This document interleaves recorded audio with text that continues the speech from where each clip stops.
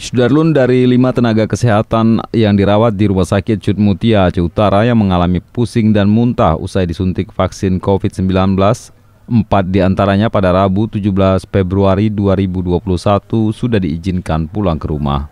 Kondisi mereka saat ini sudah lebih membaik dibandingkan sehari sebelumnya.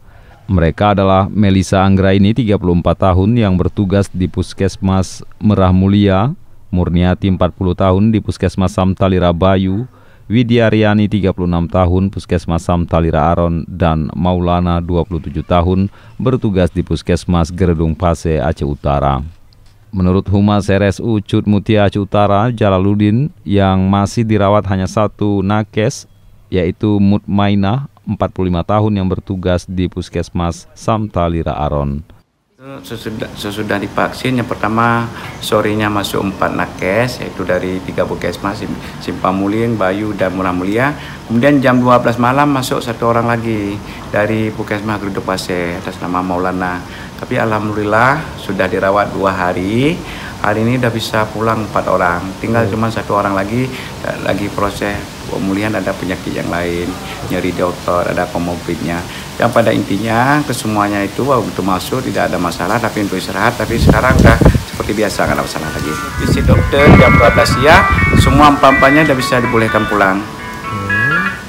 Kemudian yang satu lagi bagaimana? Ini satu lagi tadi arahan dokter, dokter hmm. spesialis penyakit dalam, hmm. yang dari Puskesmas Murah Mulia. Mungkin insya Allah besok bisa pulang, tapi malam ini disuruh istirahat satu hari lagi karena memang ada nyeri di lututnya itu memang penyakit bawaannya.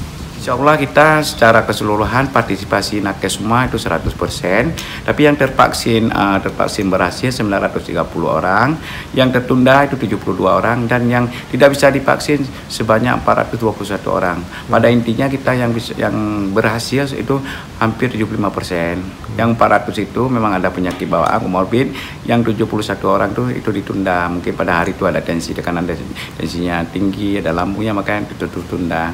Ada yang perlu dirawat juga? Dari kita memang di sini alhamdulillah memang itu dari hari pertama sampai hari kemarin terakhir insya Allah tidak ada yang dirawat. Tapi kita memang betul-betul kipinya 30 menit memang yang yang yang risiko kita langsung observasi di ruang vaksinasi dengan dipantau oleh dokter spesialis.